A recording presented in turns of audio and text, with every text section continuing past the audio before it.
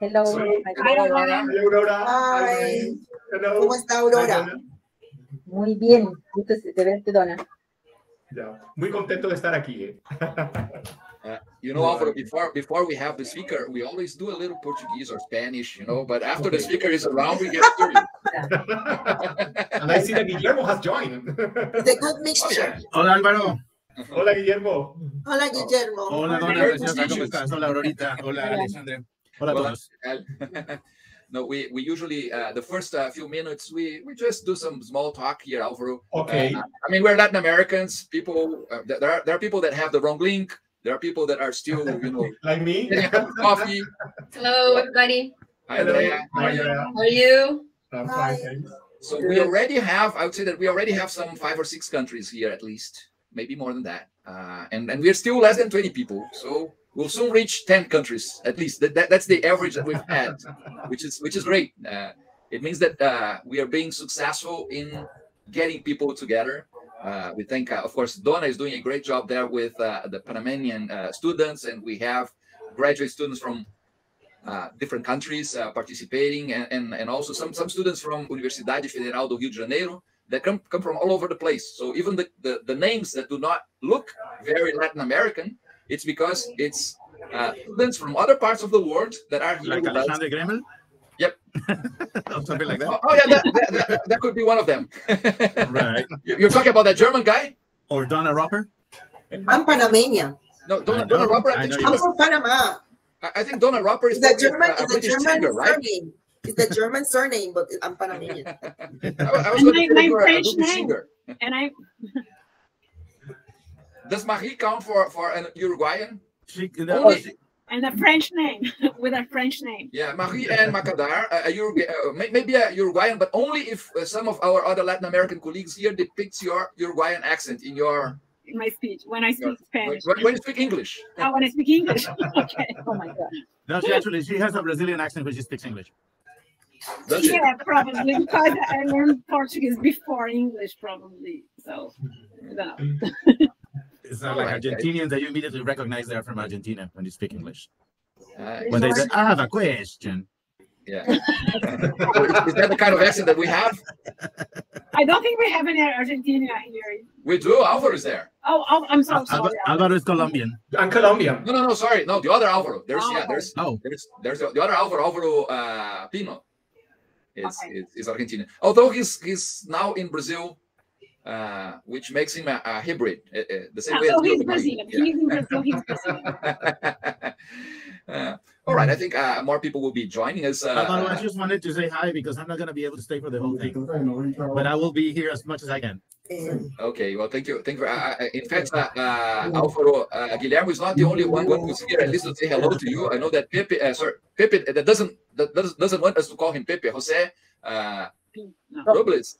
I never say I, I can never pronounce his name correctly. Uh, if he's not uh, already with us, he will join us uh, just to say hello. He says that he, he could only be here for that. Repeat after me. Robles. Ro, Ro, Robles.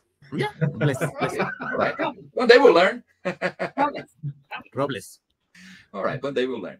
Okay. Uh, well, it's it's a pleasure for us to have a Latin American who who has developed uh, uh, uh, his career uh, abroad, uh, abroad in, in the in Europe. Uh, has studied in, in England, has uh, well teaches in, in Spain. So he probably gives the perspective of a Latin American looking at information systems, but at the same time uh, has that also the, the perspective of those countries that usually generate the technology that we end up uh, uh, adopting afterwards, right? Uh, so thank you very much for for being here with us, Alvaro. In fact, Alvaro was uh, I consider him an enthusiast of this thing because when we decided to, to have the second round of uh, of research seminars this year, he was one of the first guys that said, "I want to be part of that." And we, we, we thank we thank people that uh, uh, that I mean that have the same kind of uh, uh, perspective of the way we, we, we should uh, get together in Latin In America. Spanish, in Spanish, we say le gusta la mala vida. Le gusta la mala vida. Okay. Well, so And then, we're- and then last week I was saying why I said yes. I know, but but then then it was too late to regret. Uh, Right. another another reason for us to thank Alvaro is because he's doing this uh, in the evening, so it's time that he could be sharing uh, with his loved ones, and he's here uh, with us, which only shows uh, how much uh, he cares for what uh, he's doing. Thank you very much for that, Alvaro. Uh, with well, uh, without further ado, let me uh, do it a little more formally. I think I have uh, two slides here that I can share. Uh, uh, not that one for sure. I'm all messed up with my slides here. Uh, the, the, the, one with the, the title of Alvaro's uh, talk, In the Search of Business Models for Data Sharing. Uh, he has uh, sent uh, us a few uh, papers that uh, I know that uh, at least some of you have uh, read and will have maybe some, some questions or, or remarks uh, that you can pose to, to Alvaro later on. Uh, as I told you before, Alvaro is a professor of information systems and technology in the IE Business School in Spain. Uh, he has uh, studied uh, systems engineering uh, and computation in, uh, in in Latin America in, in the Los Andes, Uni- Universidad de Los Andes, and then later on he got an MS um, uh, master and and a doctoral um, degree in in computation from uh, Oxford University. So if he has any British accent in his English, that's not from talking uh, with us, right? It's it, it's it's from from somewhere else. Uh, Alvaro, uh, now without uh, any further ado, uh, well, the floor is yours. Uh, please, thank you very much for for being with us. Thank you very much. Um, it's really, really a pleasure to be here, actually, um, and I'm very, very happy to be joining the talks uh, and the community as as a Latin American living living abroad for a long time, actually. So it's really, really happy reconnected on that. Um, let me try to share my presentation. So what I was mentioning, really happy to be here.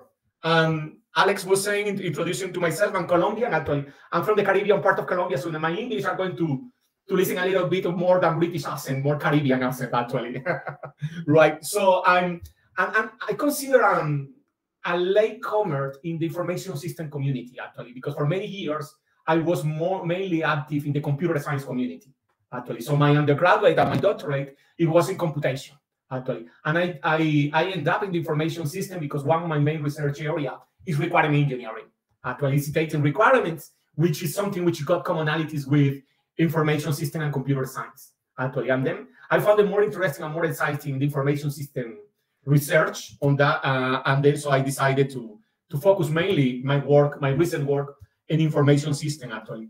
Um, I arrived in Spain as well after living almost 12 years in the UK. I decided to come to, to IE Business School. I got um, uh, my position as faculty there, and my main research, actually, when I arrived in IE, I arrived mainly uh, because they were looking for somebody interested in cybersecurity. So that's my main research area, we can say. But gradually as well, I'm interested in rather than cybersecurity itself, is like how to design secure system, how to use designs, uh, how to use system in a very secure and trustworthy way, and also getting more and more in, in emerging technology and digital technologies actually. So this is an example of you my work. Actually, I have been working on e-governance, e-health, um, in security and information uh, in IoT, and recently um, exploring and doing a project with some colleagues in North Europe on blockchain, and on also the principal investigator for IE in another project which is more IS, in which we are trying to design or to develop uh, an index of digital maturity in children. We are investigating how children use technology, and this is a multidisciplinary um, project, European project with doctors, psychologists, food researchers, and trying to develop a multidisciplinary view and an index of how, how mature are children in the use of technology as well. Okay, so when Alex invited me, very uh, very nice of him inviting me, um, he came with the idea that um, um, right, what should I talk about? Because I've been in, in several projects, and, and one of the projects that I'm, I'm presenting today is based on a paper that has been already published, but it's an ongoing project that I carry on working actually. Um, and it's a project in which a few years ago, um, before going coming to IE, I was working very strongly with the open science community, the data sharing, the e-science community actually. And then when I moved to a business school, several of my colleagues in several meetings, they have been saying, why you don't investigate a bit about the business model actually? So the whole idea of the, and that's the title of my talk is in searching of the business model for data sharing actually. So the whole idea of data sharing is the practice of making data right? Data available for other investigators, sharing data actually. But usually we we tend to associate data sharing with just sharing data sets. And actually it's much more than that. There are several organizations around the world and huge projects, right, are in data sharing, and this involves complex information and communication infrastructure, as well as organizational issues, actually. And the whole community, in many of the cases, the whole community has been funded by, by the research councils in their own country. That's the reality in most of the countries. But the same government, the same research council are telling the guys, guys, you need to be sustainable. You need to be long-term sustainable and not depending on that. This is important for research. This is important for your scientific projects, but you need to be able to, to, to be sustainable in the long time, actually. So the challenge that we came with this project, brought by some of my colleagues, was how we try to make this more sustainable. What is the business model that we should have operating on that? So let me start bringing some example of data sharing, actually. And this is perhaps the most uh, important project so far in data sharing. Actually, the Human Genome Project, which was a project that was uh, running for several years, actually, and it got a project that almost multiplied by 10 or 20 times the money that the American government invests in the project. Actually, try to discover the whole genome map on that, and that requires sharing data in several organizations, actually, and manipulating the data and creating data, and it has been really a success. But this is something which several organizations are coming to sharing data in the way that they are doing it. This is, for instance, we got here in Europe last year a call from EU, actually, and there were several initiatives in trying to data sharing, sharing data around COVID, actually in, for drug discovery, for medicine, uh, creating medicines, but also researching how to uh, take care of patients, how to manage the whole situation in a better way. Actually, so researchers have been sharing data on that. So that what I was mentioning, um, the whole community has been saying for a long time they need to understand what is the business model and how this business model can be sustainable. And that's what we became, in my case, actually, the whole idea of business model and business model somehow is related with the value creation, actually. And that's the reason that I, I call the talk a value perspective because I follow the whole idea of the business model. And that central in the business model is that notion of creating and capture value, actually. So we aim to investigate how value is created in data sharing and how can that value created through data sharing be sustainable, actually. So it's not only creating value, but to have that issue of having sustainability. And that was the whole genesis of the project, the whole idea. And um, part of the, of the, initial results, actually, which is mainly what I've been talking here, um, have been published already in the Justice Journal, actually. Um, and it is a collaboration with two former colleagues, Jie Mein Goh, she's in Simon Fraser University in Canada. We used to work together here in IE, and we, we, we collaborate a lot. And the other um, collaborators, one of my former colleagues when I was working in STFC in the UK, Brian Matthews, which is the one that has been pushing me with the idea. Okay, let's let's try to analyze the business model and then let's try to have the information system view about how can we model or analyze um, creation of value in data sharing initiative actually. So let me start with a little bit of background. So as an any work, we embarked analyzing what is in the eh, in, in the literature on this what has been the research that have been doing on that. And mainly two main line of research have been that we analyze. One is on data sharing and the other one is in the business model actually. So most of the research in data sharing has been focusing on the enabler, the driver, the benefits, or the challenge of data sharing actually. There were plenty of, of papers on that. From the perspective of information systems, these are an example three of the paper related to data sharing. Actually, the main focus has been on how we manage the technological infrastructure that sustain data sharing, actually. So in many of the cases, that infrastructure require very complex uh, technological devices and also organizational infrastructure. For instance, one of the paper, the paper by Venters involved in, in MISQ, is analyzing the infrastructure used by the CERN here in Switzerland for, with the Large Hadron Collider. In order, that was one of the huge experiments of the large um, the largest experiment in particle physics, and they have a huge devices to sharing data and managing large amount of data that they were generated. Actually, so that's one of the paper that, that I mentioned that. But in, in reality, in both sides, in the data sharing literature and in the information literature, uh, system literature, nobody has been analyzed the operational model of the data sharing and also the issues of how we can create the business model, the value and sustainability in the creation of value that we can do on that, actually. So that motivated us to go the other line of research to investigate. That was the, the, the line of research on business model, actually, which is something which in management literature there are tons of, of publication on that um, with several perspectives. Um, one of them could be an, a holistic description of, of the business model or using research view of the firms for analyzing the business model or having a business model as comprised, uh, composing of several elements like the work of Osterwalder that have been popularized with the Canvas business model, actually. Uh, in IES, business model is mainly seen as a tool for departing, innovating, evaluating the business logic of organization, and somehow creating categorizations, taxonomies of different kind of, of business model. Um, and I would say we were really lucky in, when we initiated this research to find a paper in the European Journal of Information System by David and Avison. Actually, Avison has been published a paper in which he tried to unify the different views and clarify the concept of business model from the information system perspective. And we decided that for this research, we want to use that paper as our as our guides actually. So okay, so we want to analyze business model in data sharing from the information system view. So let's use this paper, which somehow was one of the few that have a unifying view for the whole community actually. So we use it as a as our main guides, and this is the way that Avison see business model actually.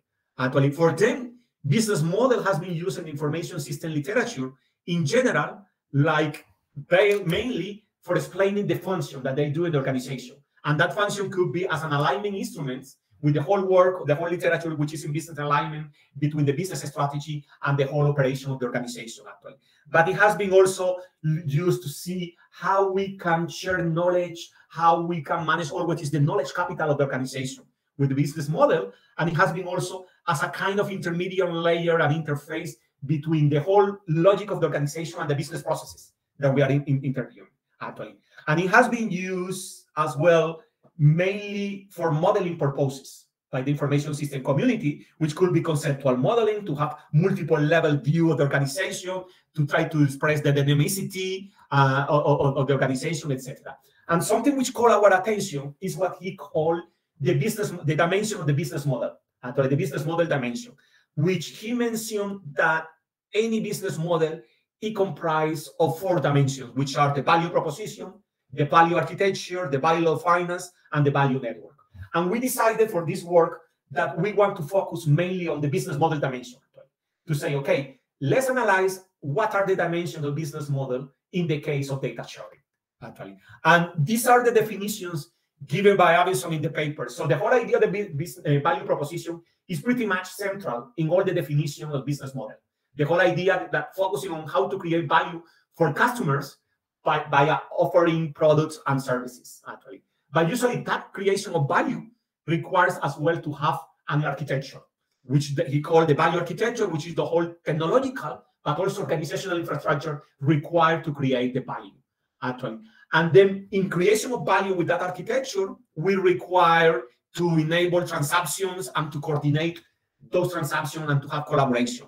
And of course, in most of the business model in the organizations, we want to create some, some economic value for the own organization. And that's what is called the value finance, which is basically centrally related to costing, pricing, revenue, and profit that can be done by the organization. Actually. So those are the definitions given by Avison in, in his work that he got, actually. So here I embark with the whole idea that let's analyze business model using those dimensions by Avison but I couldn't get rid of, of my computer science and my requirement engineering background, actually. And then I decided to combine this with a methodology which is widely used in requirement engineering, which is the E3 value methodology, right?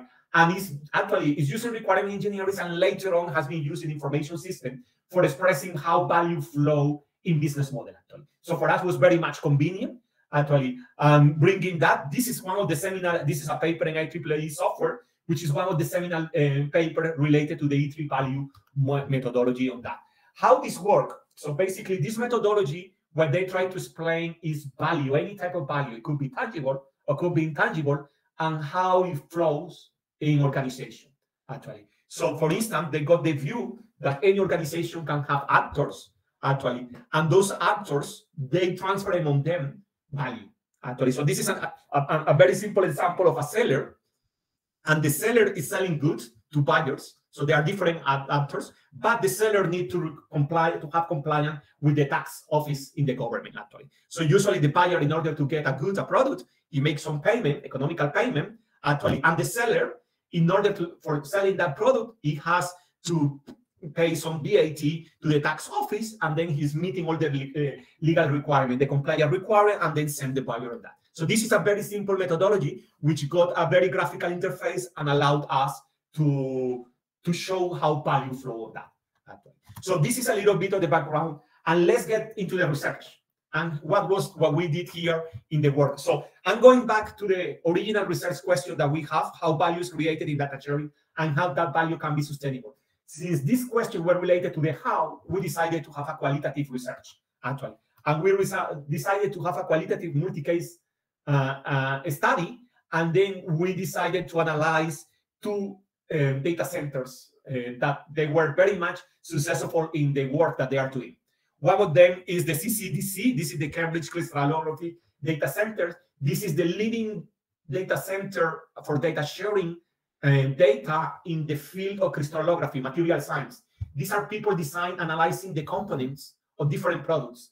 And then that component usually is expressed in the molecular structure, the crystallography structure. And they are managing the largest database of molecular structure in the world, actually. This is a community which somehow they are making partnership with publisher, for instance. And anybody that want to publish, usually this is people that publish the paper that they research and they, they publish along the paper the data. And the data usually is the structural molecular. And the main repository of that data is the CCDC, the Cambridge uh, Crystallography Data Center, which is a spin-off of Cambridge University, actually. So that was one of the organizations. And the other one is one related to the British government, which is the British Atmospheric Data Center, which is the one which collect all the atmospheric data for people doing research in space science in atmospheric studies in the UK, actually. So we decided to move on them. These are organizations that have been running for a long time. Actually, the CCDC was created more than 50 years ago, actually. Um, and, and the BADC got almost 30 years, actually. And they are mainly data sharing and they are serving to a large research and academic community doing research in their respective fields. Actually, so for instance, this is the web page of the CCDC, and we can see that there are at the moment sharing more than a, a million molecular structure of the different companies that they do as well. Actually, and this is part of the services that they they offer actually in the CCDC, and and this is the one of the British Atmospheric Center. Actually, they are called now they changed the name and now called CEDA. Actually, the Center for Environmental Data Analysis actually, and, and they are offering for all the British community all the facilities that they're required for doing uh, atmospheric science or space science research in the way that they are doing on that. Actually, so how we collect data here, being a qualitative research. So I this is I wouldn't call it ethnographic research because I I didn't go to the two places, but I spent three months in BADC actually. So I went there and I was interviewing managers. I was taking notes and I were investigating how these guys operate actually. So I interviewed several stakeholders, right? And we analyzed um, several documents that they were producing and try to understand how they were operating, try to discover the whole business model that we can do actually. And then classical to qualitative research, what we did here was to follow two weight of analysis actually. So I analyzed each each place individually actually. I didn't manage to go to the Cambridge uh, uh, data center. I focused just in BADC, but being in the UK at that time, I was interviewing several of the stakeholders and interacting and getting information from CCDC. Actually, so I analyzed each each place individually, and then we put together the two cases and try to see what were the commonality of that. They call our attention because both places, both sides are considered the leading ones in their own field. Actually, so it was really a good opportunity for me and for the team um, to analyze two successful companies which somehow they were also being sustainable in different way and try to understand okay what are the key or the essence of that sustainability that they're having as well in the way that we were doing. Um, so for the analysis for the qualitative analysis what we followed was what people call thematic coding actually. And then we were doing the interview and we designed an interview protocol based on having some business model dimensions view actually asking people like what are the main products, um, how is your architecture, how you collaborate, who are your partners, etc., and try to understand the way that they were operating actually. And then we were using that as a, the main guide, and rather than being a la grounded theory, which is inductive, here we try to do the analysis deductive actually, and starting from the top and then try to uncover uh, what were the operational and the business model that these companies have. So let's get into the findings of them actually, and then the findings are the four dimensions, and then what we found in each organization. The whole idea of the value network, according to Avison, represents the way in which transactions are enabled through coordination and collaboration among the different parties, and how they collaborate basically. It's a multi-party stakeholder network, and how value flow, flow in the way. And here, that was the reason I went to the E3 value, because the E3 value was very much convenient on that, actually. So we went back to the literature on data sharing, and then we look at the different kind of stakeholders. Usually you were asking people, who are your partners? And they were doing, they were answering the closest ones, actually. The normal one, and they would say no. But usually in data sharing, you should be collaborating with A, B, C, D, E. I want to know what you are doing with all those different people, actually. So different role that they were doing. We were using this paper as a, as a guidelines to get the different stakeholder groups. And then when they were explaining to us how they were dealing and sharing, collaborating with all the different stakeholders. This is, for instance, the, the, the list of stakeholders for the case of the CCDC, the, the crystallography community that they are doing. They are mainly dealing with data producer researchers, which are the main customers on that. With the, we can see in the way that they are doing it, in the main customer, which they produce the data, but they also deal with the academic community in, in, in, in general. Many of the paper of these people, in order to produce a new paper, a new research, I usually collect different molecular structure, I combine it, and then I create a new one, or I, I report about that, actually. And a lot of the users of that information came to be industrial users, companies doing research on material science or in the pharma sector in drug discovery, actually. So they analyze the molecules as well. And they have a very good partnership in the community with publisher because any publication has to be combined by the data. This is the tradition in this in this discipline, actually. And this center serves like forget they got partnership with some with Elsevier, for instance.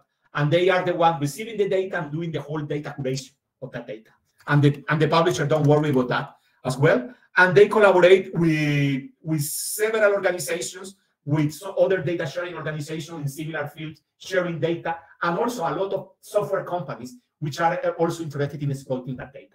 So it's really not simply, it's not a simple way of just sharing the data. There is a whole organizational structure that they are having around, around that, around the sharing of the data in the way that they are doing it. And, and this is the value network that we, we have among them. And this is the way that we use in the paper and the E3 value methodology, actually. So in this case, they are the organization CCDC is at the center. And well, this is somehow reflected information that we collect in the interviews that we have with them and the document that we analyze, actually. And with some of them, for instance, with the other data sharing organization, they share data, but they mainly share knowledge, actually. How you are doing curation, how to manage this, this part, etc. With the academic community, they have several models that sometimes they have licenses for people, they got a premium model, and people can use by free some of the data, other people have to pay premium in that, in that way. Um, they collaborate with, with businesses, business pay them, pay for using the data. They also have consulting uh, part. They, they, they offer the expertise that they have, and they create services on top of the data, which they also offer, to, to businesses, etc. The whole relation that they have with publishers in terms of maintaining the data, etc. So a whole way of explaining how they share data here, right? Another of the thing that we tried to do was try to understand how they operate. And then we discovered that all these organizations, they didn't have a single value proposition, but rather what they have is several value propositions, actually. And this is very normal when we will look back to the literature in social entrepreneurship. It's very normal in social entrepreneurship that um, enterprises, businesses there, they don't have a single value proposition. Usually there are several value propositions for all the different uh, stakeholders, actually. Everyone participated in, in social entrepreneurship usually try to get some value. The same situation is here because these companies can be seen, all of them are non-profit, so we can see them as well as a social enterprises, actually. So what we tried to do was to flesh out, actually, what are the different value propositions that they are offers, actually. So for instance, for the people that produce data, they the people that they produce data, uh, they are doing the whole data management in the way that they are doing it. Actually, they are also created ODI, only for them uh, ODI for the data, and then people are recognized like a paper. actually. And people are in some universities, actually, you can point not only for your publication, but by your data and how your data, like citation, how your data has been used, actually, and they trace on that, actually. Also, how the data is consumed for the data consumers. They give value, access to the data, access to all the different uh, services that they have, and then for the publishers, they got the transparent in the research pro uh, uh, process. This is something as well for founders, etc. So for all the different stakeholders that we have before, actually, for all those stakeholders participated, they created value proposition on that. Actually. Now, they have a value architecture, a technological and a complex organizational architecture, because actually they they got the data, they have to create the data, but also part of the business model for them is trying to create tools on top of the data. Tools, that's what they call the value added tool that they create, like for instance, visualization, and three-dimension search, analysis of the structure, the molecular structure, etc. So this is part of the architecture that they are created on that. And, and in relation how is the part of the finance, how they're doing, they were followed with a freemium model, actually, which some of the services were free for the whole community, and then some additional added value services, people have to pay a, a, a premium, actually. They also see themselves, they are non-profit, and then they sell a service community, so for instance, and then for, they follow the UN scheme of developing countries or the, uh, the human development, and for some countries, all the services are free, and depending on the location of the country, the premium change from country to country, actually. So they are based in the UK, but they were serving to the whole worldwide community in the way that, that they are doing, actually. And this is all what we collected in the data with the with the analysis with the CCDC. Let's see now in the case of the British Atmospheric Data Center in the BADC, actually. Um, so these are the main stakeholders. These guys, they collect a lot of the data, which are not necessarily coming from researcher, actually. They're coming from tools like microscopes, like satellites, etc. And so they collaborate with organizations producing that data, and they store that data that they have actually. So those organizations that capture the data and they and they they collaborate on that. And they they these are the data producers. They are also, for instance, the UK. Um, they collect all the data the UK the meteorology office, and they are a sort of mirror for all the data that's collected by the NASA. They are the mirror in, in Europe in that data that they have. And then the main people using the data are researchers doing research that they require that data actually. But also, this is a data which is used as well by the general public. For instance, they mentioned to me in the interviews that one of the people that was looking at the data are journalists, scientific journalists. When they are the discussion of the climate change, they collect the data and they try to verify whether the claims that have been the people said are true or not. Actually, so the general public is consumer, they work in hand with the founders. Actually, so for instance, several of the council and the founders in the UK, if you are doing research in this area and you generate data, they they require the researcher to deposit the data in that repository actually and to acknowledge when you are using data from them as well actually and they require a lot of computational infrastructure they use a lot of cluster computing they use a lot of analytics uh, so they require a huge cloud computing cluster with computing so they are using as well a huge technological infrastructure and they are with the infrastructure funders in the uk collaborated and they they maintain some of the data that they are doing or they store the data on that actually. And these are the main stakeholder. And again, we use the E3 value to analyze how value flow here, actually. So for instance, in the research funder, the research funder pay to them to maintain the data on that because they want to have transparency and efficiency in the way that researchers do the work as well, actually. Um, they offer the data by free to some of the general public, and in particular, that general public that want to get to see transparency in the research, etc. They offer as well consulting services for businesses that they can do as well. They collaborate with other research council, in particular the research facility providers, in which they they pay and they receive some experience in manage large infrastructure that are required here. So these are examples of the way that value flow flow here in, the, in this case, actually. And these are examples of the value proposition as well for the different stakeholders in data management, access to the new data, um, efficiency in the research processing, transparency, etc. So they were similar on that actually. In terms of the um, of the finance, the BADC is mainly funded by the government actually by the the Natural Environment Research Council in the UK. That was the main the main one that they, they were funded on as well. So let's put the two organizations together and see what they have in common and what patterns are different as well in the way that they are doing. So both of them mention that partnership and collaboration are essential for the business actually. Either partnership with other industry, with businesses, or either partnership with the with the scientific community, And interacting with them and hosting on them. So that was central for them, partnership and collaboration, actually. Um, and then the whole value network here, for instance, emerged as the key for the organization actually. Actually, so for them, how value flow, the whole net value network was essential in them. Actually, that was essential to the business and the way that they were operating in the business, partly what they were doing actually. In relation to the value proposition, um, they have similar value proposition being a data sharing for data producers and, and data consumer. And both of them talk a lot about the term of value added services actually. They were both of them emphasizing on that. And they cover several services that they are doing, either online portal for search in 3D or visualization, data analysis, data visualization in the way they were doing. So they, they have on that. It was important to have clarity in the value proposition, but it didn't have the same value as the value network that they have. Something which emerged, putting together, was that the main assets, the main value that they change is data, which that was expected because these are the this is the essence of data sharing. But actually, a lot of the value that they were created when we did the analysis was intangible, transparency, knowledge, reputation, actually. So data preservation, right? Um, um, expertise. So actually, a lot of the, of the work was sharing intangible assets, actually.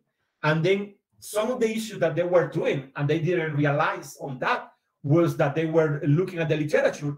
They were trying to come uh, to to transform those intangible assets in more tangible assets, actually. So they were having value conversions. For instance, try to convert something which is the data and then offering the value-added service of data visualization, actually. Um, or managing the whole process of recognition and to have the system that you can do the search like citations for the way that people have been using the, the, the structural molecule. And they also enhance in the value that they have. For instance, they create metadata with the data, and that facilitated the search and the further exploitation of the data actually. So they were working as a, lot, a lot in value conversions, value enhances in the way that we can do all that actually. Things in commons, which for us also was very good, uh, was for us a view that that's partly of the reason that these two organizations are so successful, which that they have in common. Both of them are considered themselves as customer centric, actually. The customer is at the center of them.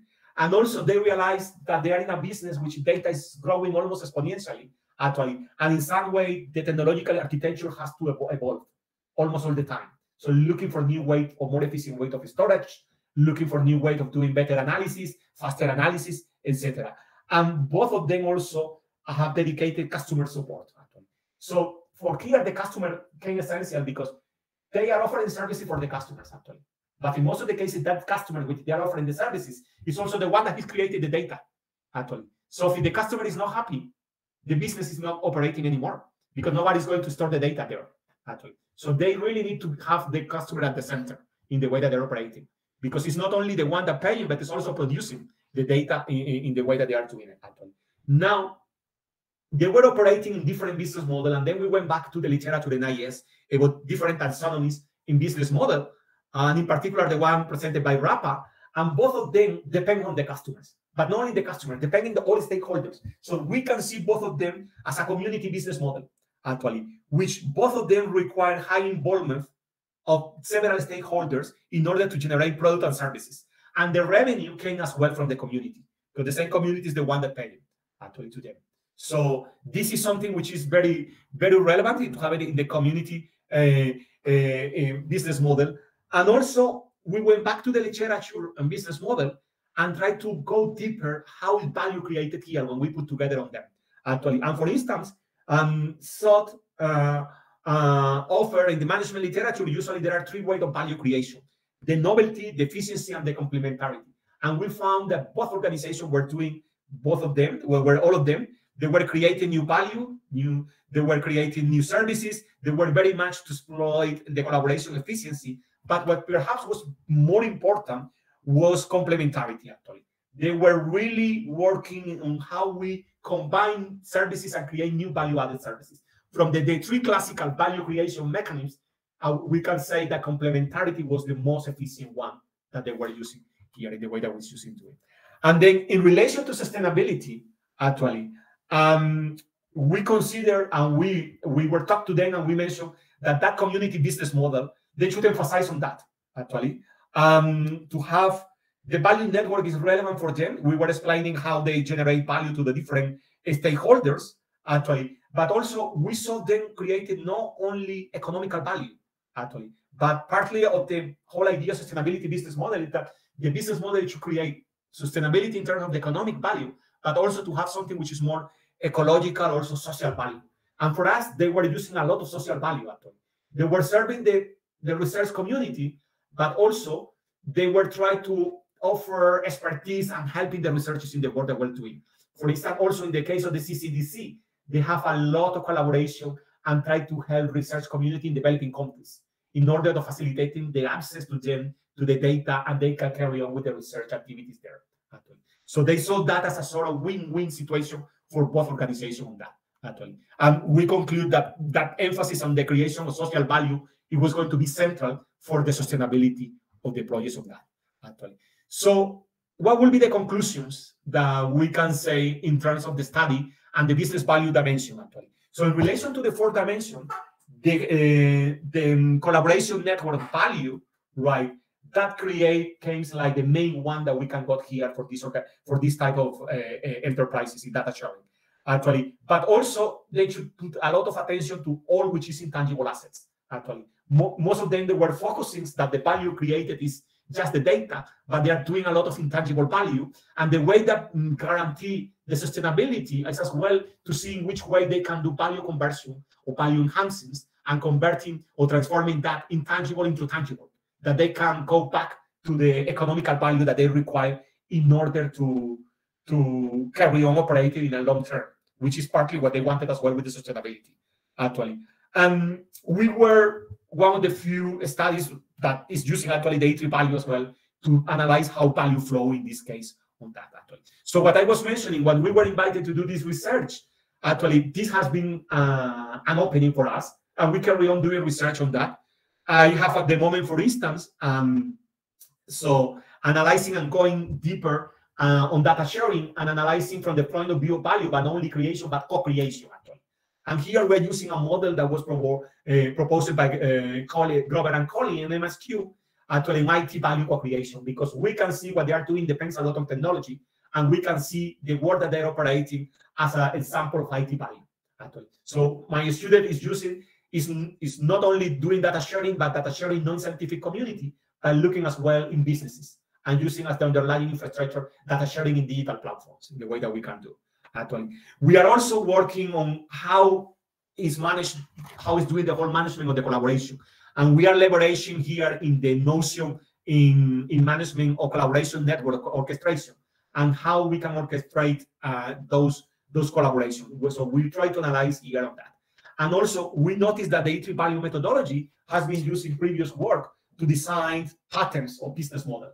And we try to see if, we, whether we can use to come out of patterns that depending on the type of organization, this is the way that the value flow, classical way, sort of blueprints, patterns in the way that value is created in this organization. Um, with that, I think um, I'm finished for the moment. I'm really happy for any question, any comments. Right. All right. Well, okay. Thank you very much, Alvaro, for this very insightful uh, talk. Uh, while people are thinking and, and formulating their questions, I already have a question for you. You know, when, when we're talking about sharing and well, data sharing or any sort of sharing, uh, it's always going to be something that, or at least we think of it as something uh, that happens in a collaborative way, right? Uh, and I noticed that your two, the, the, the, two organizations that you studied were not-for-profit organizations, where collaboration tends to be a little maybe easier. I mean, uh, I, I, I, myself have also been studying collaboration among uh, interested parties, let's say, or selfish parties that collaborate because they understand that by collaborating they can get to something better together. Uh, but the problem always seems to be, to me, the, uh, a matter of governance, right? From your talk, I understood that the govern governance here happens because they their let's say their their goals are aligned. But is is that all that they have, or how did you perceive the governance among all those parties that were so okay. imbricated there? Okay, actually, in those two organizations, the goals are aligned. Actually, in terms like, for instance, the collaborations that they have CCDC with publisher. Actually, they are really giving value to the publisher because the publisher requires that when you publish, you deposit the structure, but they don't worry about the management, the maintenance of that. This is done by them. So they are really aligned on that. Actually, what you are mentioning is the topic in the first bullet point that I mentioned here, and that has been the topic of my PhD student. Actually, when we move to the business collaboration and data sharing in business, is another story. Actually, and that, for instance, we presented a paper in AMCIS, and that was the focus on how we manage the tension that we got in competition and collaboration. Actually, because I'm collaborating, but at the same time, some of them are competitors. Actually, and then how we manage the tension that is get on there. And governance there it became really really central actually. And trust management as well the issue of trust establishing here. And we need to have a very good governance for, for, for managing that tension that we are doing. So we already we are extending we analyze we are using as well with my uh, with my DBA student we use already one case study that we presented in AMCIS this year on managing that tension and we are enlarging that with a second case study and going deeper on, on that situation which is different here, it was much easier, and governance I haven't made much relevant because perhaps the fact that they are non-profits and they are aligned on goals. But when we're moving for profit, the story comes, and in particular the competitors actually, how we share information, but that you cannot use it. I'll tell you that. Right. First, um, I want to congratulate Alvaro. I think the study is very helpful and understanding the how this model works for not for our time, which is a digital and data time. So this is a really you know, um, appreciate that for, for, I will use it with my students. Uh, and I wanted to ask you because in Latin America, we have two problems that when I see the model, I find it, you know, very, very clever. And, but what, what about in Latin America? We don't have the, we have problems uh, with interoperability in most of the universities and, and, and relation with businesses. And besides this, collaboration is difficult among stakeholders uh, in Latin America, the trust is a problem. Government uh, is not trusted by the uh, government don't trust academia, academia don't trust uh, government, businesses don't trust. so at the end, the, the model collaboration and as a community is very difficult. So what, what, what do you think could be the starting points to have this working? Actually, um, that's a good question. And it's, it's interesting because this is a question that asked me several people in Colombia, we got that situation actually. I started my academic career after my PhD. I went to work in Colombia and I was working for four years in, in, in Bucaramanga, in Universidad Autónoma de Bucaramanga. And actually, I was giving a talk to them last year. And, and they said, but you are writing paper with competitors. And I remember that, that, that, that like other business school, which are competitors. And they will say, well, I think one issue that we we need to extrapolate it and is try to convince our senior managers in our academic institution is that we are in the business of doing research. And research is a team players right? And and we cannot play ourselves alone because we know we can play but we, we, it's very difficult to to score a goal actually. We may make a good pass but if we want to score a goal in a very good journal in a very top journal we have to have several people working together and collaborating actually and, and who better to collaborate, actually, that our colleagues that also know our field and they have more seniority, etc. Even so, if we are competitors, actually, at the end, when we publish the paper, it's going to be a winning for the university. that. So that was my answer to them, actually, because I remember, and I, and I was strange, I was working with them more than 20 years ago, actually, or 20 years ago, and I said, and 20 years ago, we were in that discussion, actually. And we were somehow not very well looked collaborating with the university, which is only five blocks from here, actually. But actually, we, we, we need to collaborate, actually. And I would say we need to convince them that this is good for us, good for the country, good for the production of the, of, of the science, in the way that I see it. So for me, the limitation, the limitation among collaboration among universities is more the senior managers, actually. Another story, going to the other question, that is the trust with businesses, actually. I think we need to well, I, am not sure about that, I would say. Um, what we need to show businesses is that if we do research, they we create value as well. We can do it as a data sharing. Actually, this has to be something which is generating value for all the participants. I try to say that when I do qualitative research, for instance. If I'm doing interview to a company, I try to say them in advance, and at the end, I'm going to generate a report. I'm going to send it to you. I'm going to, if you do want, I can go to your company and talk and explain the result, giving the academic view of what you are doing and how you can leverage on that. But I, I got the feeling that I need to pay back the time that they are giving to me and the data that they're providing to me. Actually, that's usually the view. So, and in most of the cases, and at the moment with another launching another project, and I'm in the in the phase of getting getting companies willing to be interviewed and to be studied, and I, and part of the work is to analyze that. And we go with the comment from Alexander, and we have been forced, forced no, but actually, Europe has been forcing universities or have been saying it's very good to have transparency. So now, for instance, that when I did this research, that wasn't the case. Now, when we go to any company, we need to have um, information consent, explaining all the data that is collecting, how it's going to be published, um, if they want to revise the data, that they can drop the information, all that. In that, in order to enhance transparency and to increase trust with the businesses, actually. So I try to sell them the idea that we collaborate and we collaborate to that whatever I do, I'm going to try to transform in something good for them, creative value for them. Actually. And that, that uh, my work here is a little bit convincing them on that. Right. Great, thank you. Pleasure. All right, anyone? Otherwise, I have another question here. You know, I will not allow Alvaro to, to, to, to be quiet there. Rodrigo, please. Hello, Alvaro. Uh, thank you very much for your presentation. It was very interesting for me because I did do some um, parallelization, let's say. Um, you said you had um, the surprise of finding social value and on top of financial value, right, or economic value. I did the, the um, like transfer that idea to my research because I'm researching on in government. So we have the, the, the figure of um, public value, right? And we have the same um, questions and, and, and how do you say, the same thoughts about trust, um, how you need trust to have uh, and transparency to have the collaboration.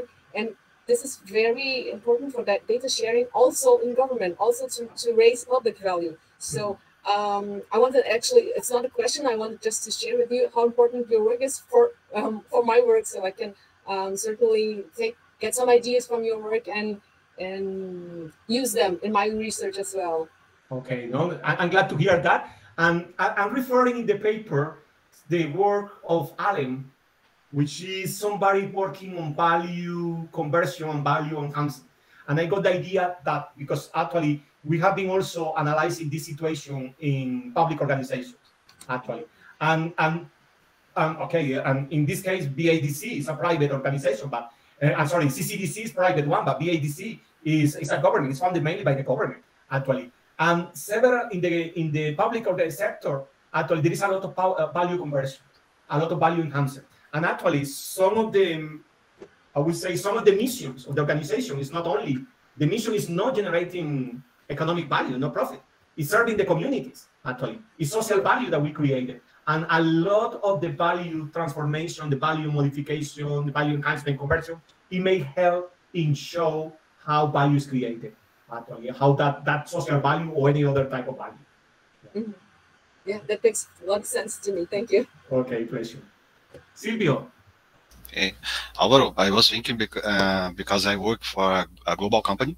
Uh, we are in more than 100 countries and uh, we have more than 100 kind of business. And we have an interna internal competition.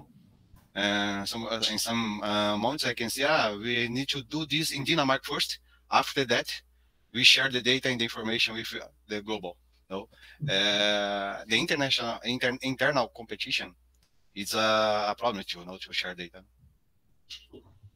Actually, and this is, I mean, um, what Alexander was asking at the beginning, actually, the, that tension in businesses is, is there, actually.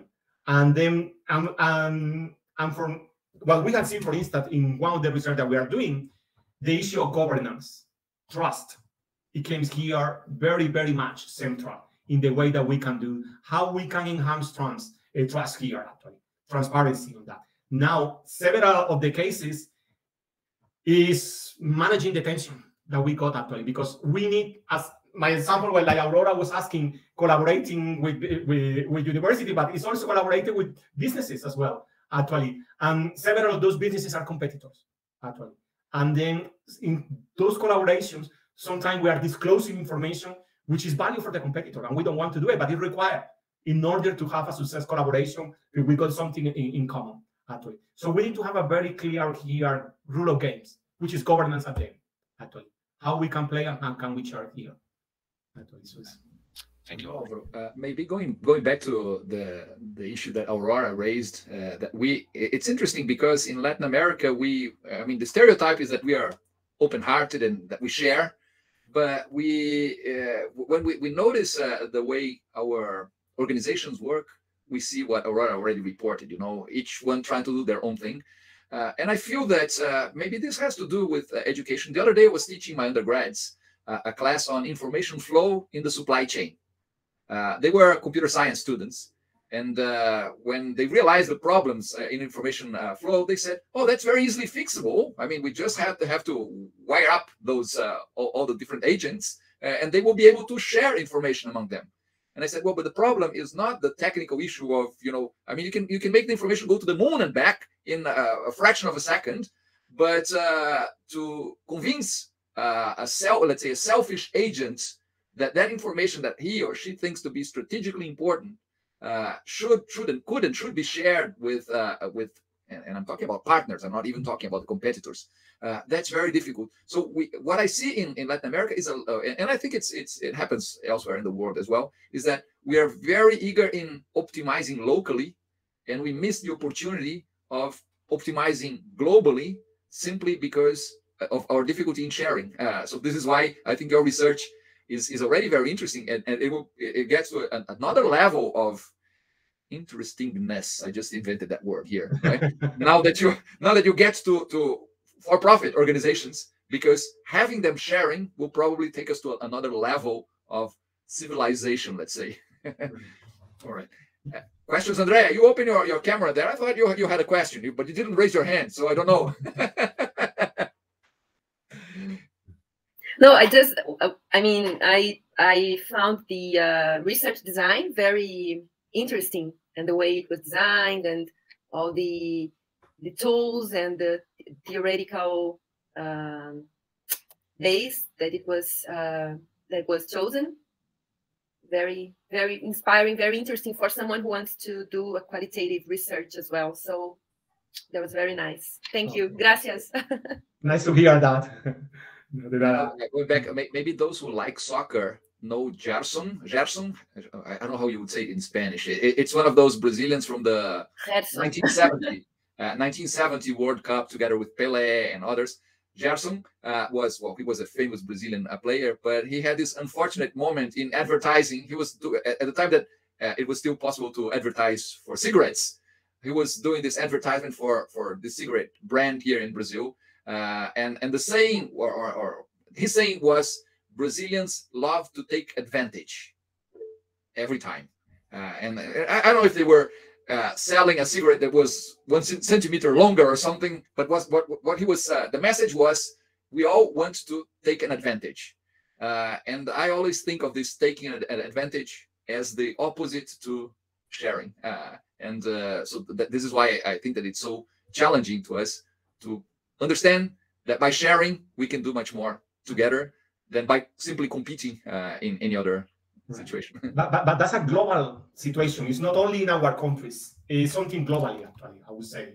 It's true that in some cultures it's much open to share, but but, but the challenge is everywhere, I would say. I think you mentioned uh, uh, uh, building trust as, as something important. Maybe that that could also be uh, another, let's say, line of research there Alvaro, for another PhD student. Uh, Right. how, how do we foster trust? Because trust is, is also something difficult for organizations that want to have all the results for yesterday, right? Trust needs time to be uh, uh, conquered and, and, and very little time to go away after, you know, any of the parties do something that the others feel that breaks that trust. So uh, I, mean, I, I, we're, we're I, think we're in a how do you call it, a, mind area here uh, for for for for for organizations that are there in business for profit because they surely will benefit from sharing more, uh, but at the same time, uh, they they're always thinking that whatever they share will be uh, used by competitors or by others at their uh, expense or they, they, I don't know. It's uh, so I, I think that that's our challenge. Whoever is, is studying sharing, I, regardless of if it's information sharing or or any other resource sharing, we'll, all, we'll have to figure out how to to to deal with that in the future. Exactly. Mainly if we want to take that to other um, organizations that not just the, the not-for-profit and Actually, I, I got one student working on trust evolution, but not in data sharing. uh, Actually, he's doing the research in the case of a company in which the company developed a software and the software got unintended consequences. It was a completely disaster. And then the whole employees decided we are not using this anymore, actually. And then the company re go back and create a new implementation and then it was has been a, a complete success actually. So usually people analyze that from the view of what are the success factors from failure to success. But we are looking in a different angle, which is people in the first implementation completely lost trust in bosses. Actually, because also one of the intended consequences, which was unexpected, was that employees end up earning less money, less commissions. But it wasn't unintended. It wasn't cre- created in that way, actually. Uh, and some of the technical problems in that to having organizational problem we made complex and people didn't manage to get the goals and didn't get the bonus because of the technical problem. So you create a huge problem that people were not trusting to the company. And then later on they regain trust. So we are we try to analyze what the company did to gain trust back from those employees which um which were very, very disappointed with organizations and they they didn't believe that was unintended. Actually. So how what they manage because nowadays people are happy and people are using the system actually. And I'm very interested because this is an analytics system actually. So they brought analytic for having efficiency, but the first implementation was a disaster. And then people uh, people were managing things and they were sending sellers were sending to the wrong place, customers were not getting the, the the products, and then it was completely completely it was a routing system, a routing uh, uh, doing an optimizing distribution of products, and then the optimization was terrible, the first version actually. And then but the intended consequences uh, was terrible because for people, most of the people, the salary was coming from bonus, and they were commissions, and they were losing the bonus and the commissions, right? And then they were they were unhappy on that, and then, so I'm looking at that. I'm going trust is something very interesting, right? Andrea. Right. Uh, Andrea. Yes. um, I was just uh, wondering what you said about this sort of partnership between uh, academia and the government and the, the companies, the, the for-profit companies. And I, I, I'd like to know how, uh, what is it like in Spain right now? Because I lived in Spain uh, 15 years ago, studying in, in Barcelona in 2007, 2008, 2009.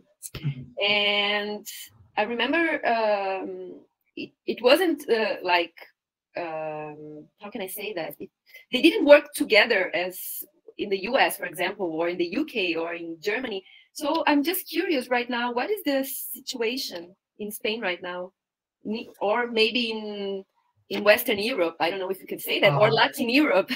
right. I mean, it's still a challenge collaboration actually, and I would say collab, but collaboration we're going back to trust actually. Collaboration is about gaining that trust actually, Yeah. which is true in some in some places.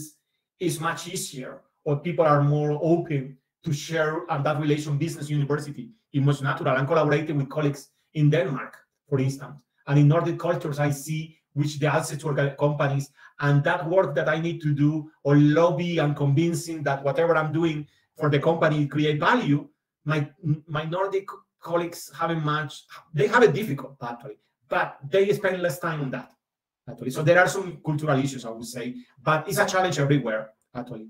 And then it it influence, I would say it influences issues of reputation of the organization, your own reputation, um, the companies, etc. Right. Um, several universities have created centers which help in creating that kind of collaborations. Actually, so for instance, we we that you- you are interested in, in public sector. So for instance, talking about the public sector, we got a center um, uh, specialized in the public sectors, and we have been using them in order to do some of the research and to reach some some some uh, some towns, some mayors, some politicians, or some ministers that we want to interview. Actually, So it's helping helping them as a, as a platform. They are with a different mission because they collaborate in academia, but they are not doing strong research. But when we want to do research, they are really happy. And again, I'm going with the back to them. We say, look, um, we are going to mention you in the research, and this is also good for you. And I have to do the work with them. Are- my broker. Yeah, no. Yeah. And another uh, question, just very, my very last one, I promise.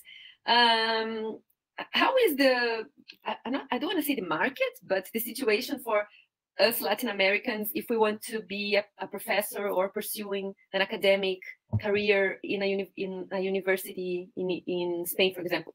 Because in, in, in Barcelona, it was very hard, I remember. I don't know if it's because it's Catalonia and we have to speak Catalan to be a professor sometime, you know.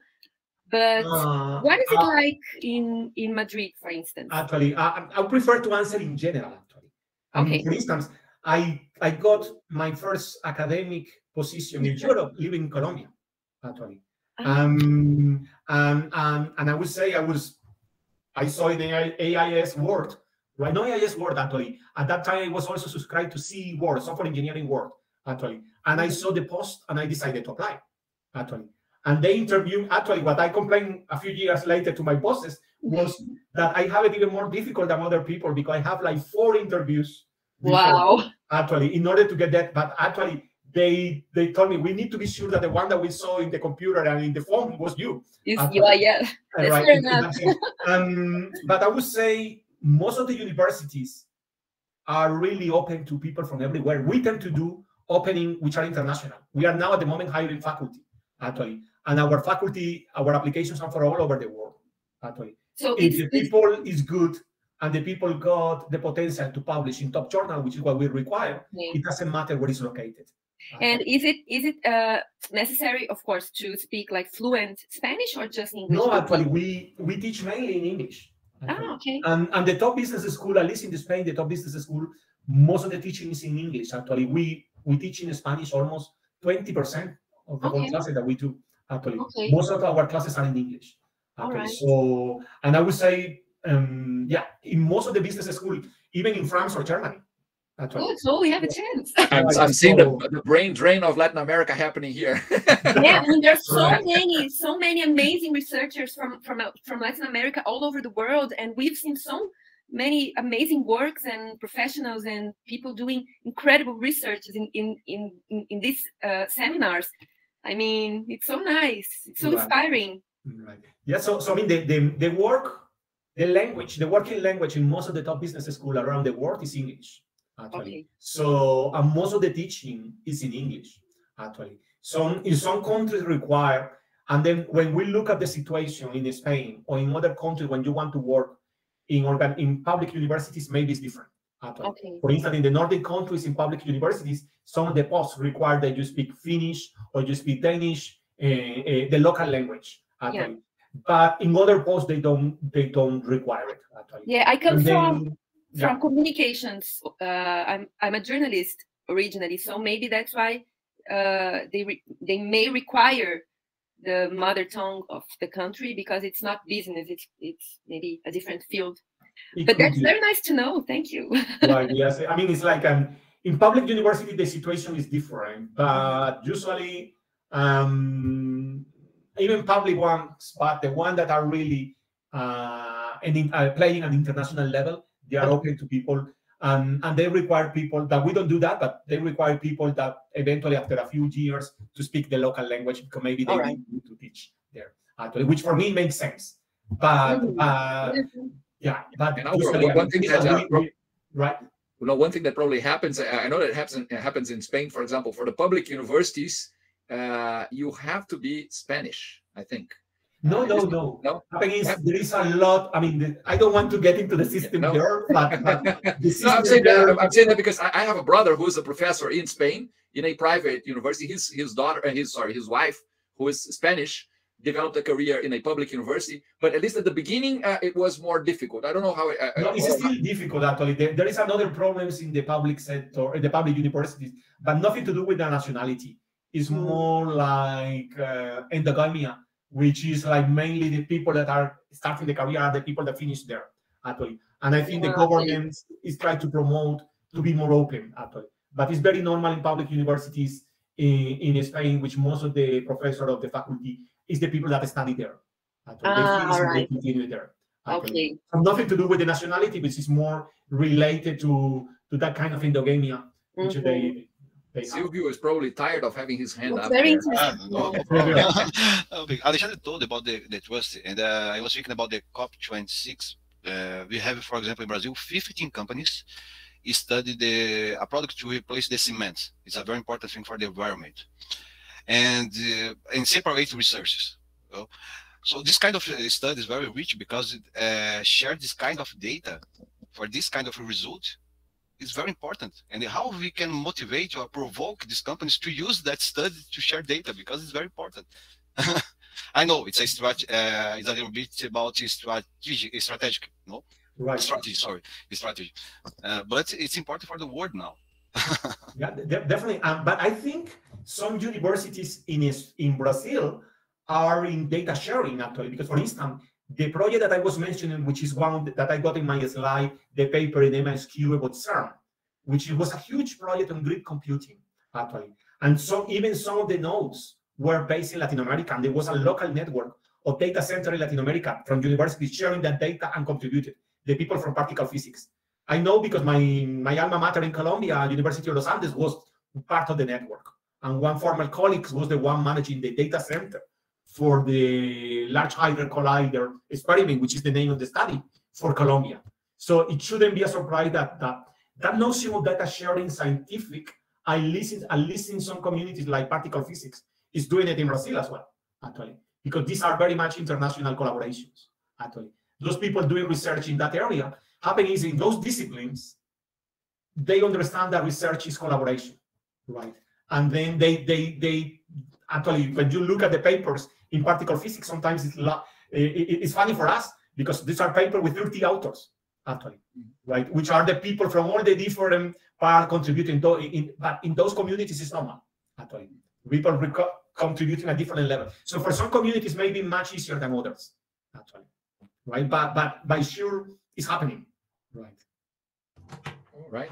Well, thank you, Alvaro. While you were uh, answering, Silvio, Andrea, and Caroline were exchanging messages there and planning their future as uh, international researchers. I think that they already have the duty now for. We, we, we have three three more uh, uh, uh, speakers uh, this uh, this year. Uh, each one of them is going to be from a a, a uh, different. No, actually, two two North Americans,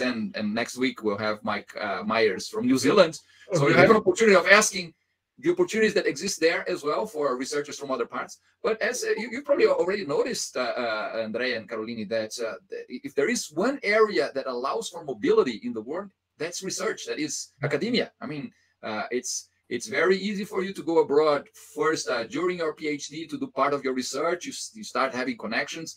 It's it's easy for you to to attend uh, international conferences. Well, we hope it, it's going to be again right after the pandemic uh, and uh, and then connect to people, do research together, and that opens doors. You never know uh, where you, you're going to be working in a in a few years from now. So yeah, Andrea has her hands up again. So if there is one thing that these seminars um, have has have brought, at least for me, was a very um, a very broad horizon of possibilities, and I would love to be a, a professor and a researcher around, I mean, international or national, whatever.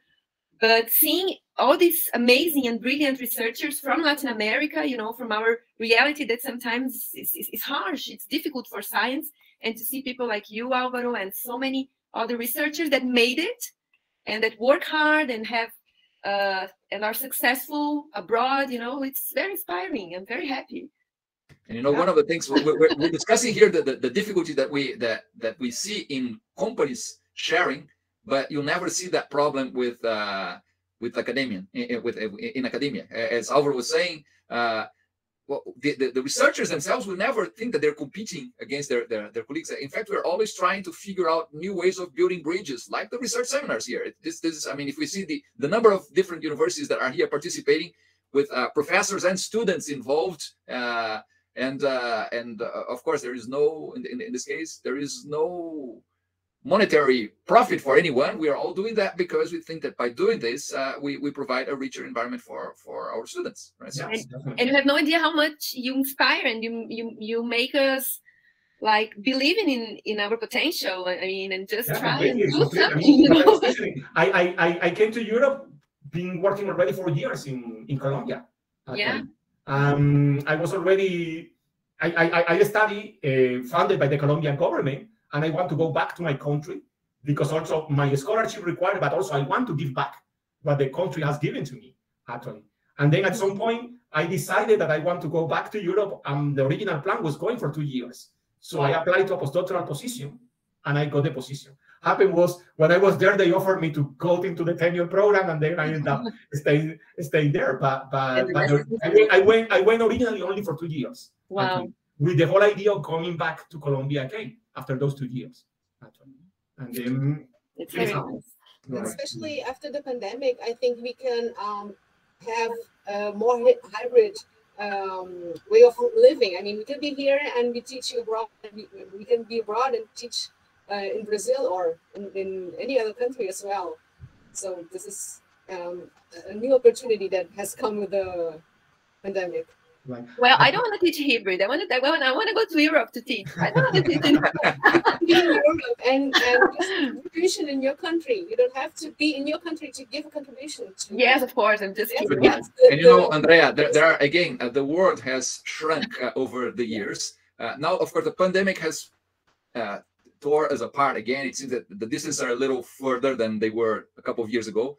Uh, but there is, uh, uh, I mean, the, the fact that you can be virtually close allows you to be in a in, a, in another moment also physically close because I, I mean, of you, course yeah. yes. So, so there, there's there's a, there's a good- for sure, for sure, your generation of, uh, of, of professors and, and researchers is going to be even more international than ours because uh, the world is much smaller uh, in your Yeah. minds uh, and also uh, in the way that uh, even the, the schools think uh, uh, of it. And for example, having Dona's students taking this course here at UTFPR, right, and and, and be able to, to, to be accredited by that, it's something that uh, a few years ago would not be even conceivable. But now we I mean, now we see that things are possible. We start doing it, and so so don't worry. That that path is already, you know, the, the, the way to go.